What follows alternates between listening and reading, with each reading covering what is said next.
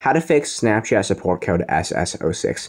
This code usually occurs when you try to log into your Snapchat account and you keep on not being able to log in and you try too many attempts where Snapchat's going to get a little bit suspicious and it's going to log you out for a temporary period. So the first and best way to do is honestly just to wait it out. Maybe wait like 15 20 minutes and then come back to Snapchat another time where you try to log in and make sure you actually do it correctly so then you don't get the SS06 error again.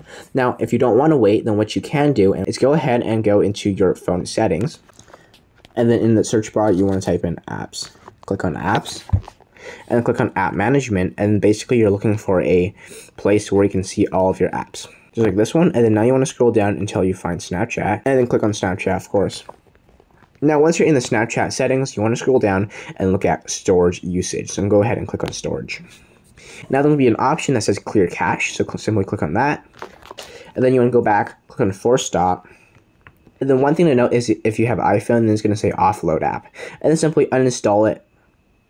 Uninstall the Snapchat app so that will and so that'll help refresh it and reset it to a fresh page where it can possibly help with the SS06 code. Ultimately, if that does not work, then honestly, the only way they should be able to fix this is wait 15 20 minutes, and after that, just log in again, make sure you don't get the same mistake, and hope that helps.